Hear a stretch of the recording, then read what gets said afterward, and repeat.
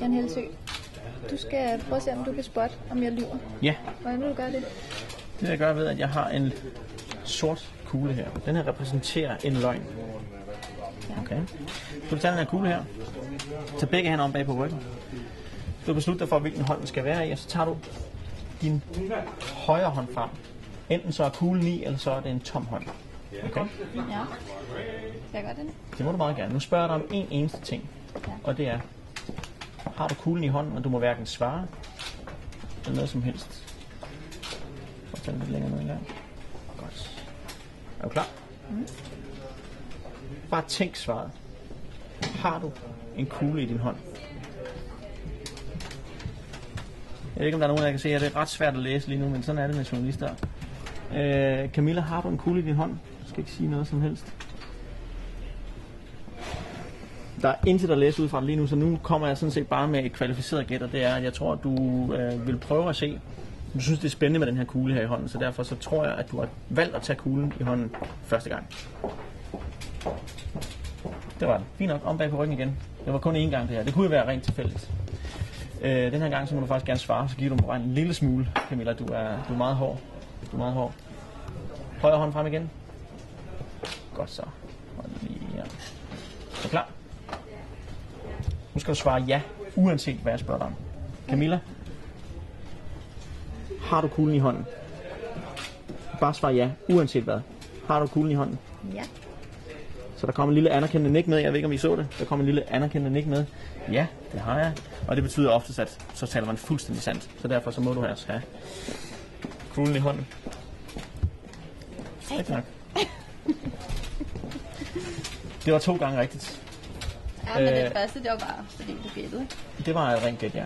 Jeg tror, vi øh, tager den en gang til. Prøv at tage din højre hånd frem. Jeg vil bare lige sige, tredje gang, så har folk den som oftest i hånden igen. Og nu kommer der et meget, meget stort smil herovre fra. Øh, hold den lidt. og det kan være, at det simpelthen er, fordi jeg har ret.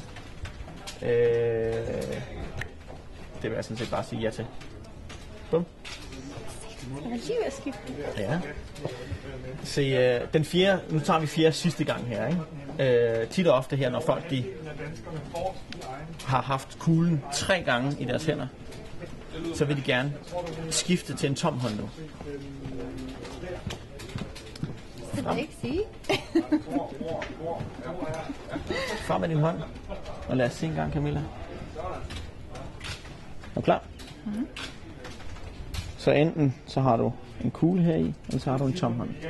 Jeg sagde inden det her, at hun sikkert vil have en tom hånd. Er vi klar? Tom hånd. Ah. Det går ikke. Jeg skal have, jeg skal have, jeg skal have dig. Skal have det sidste ord? Ja, det skal jeg. Hvad kan vi gøre den her gang? Den her gang. Hvis du har kuglen fremme, så fortæller du en løgn. Bare en ganske lille sætning. Det kan være, hvad du har spist til morgenmad. Øh, eller noget andet. Hvilken farve undertøj du har på. Og hvis du har tom hånd fremme, så fortæller du en sandhed. Det skal vi have en gang til. Hvis du har kuglen i hånden, så fortæller du en løgn. Hvis du har ingenting i hånden, så er det en sandhed.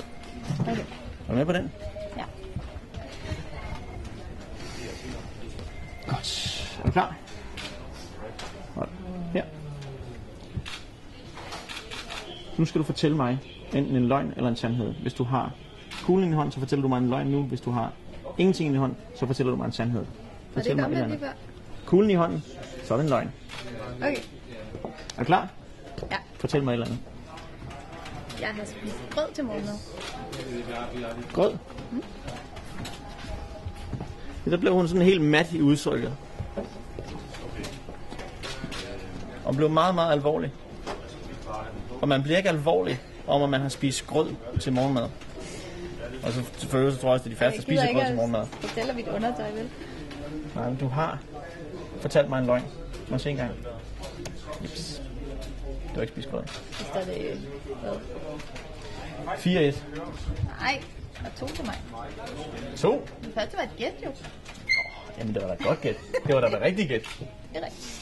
Jamen, det- altså, jeg kan blive ved hele Okay, dagen. du har vundet. Har jeg vundet? Ja. Er godt. Jeg er også lidt stolt at jeg er lidt god til at lyve. Ja, du er lidt god til at lyve, men sådan er det med journalister. Jeg har prøvet det her med journalister og advokater. I er de værste. På kuglen igen. Jeg siger mange tak. Tak for hjælpen.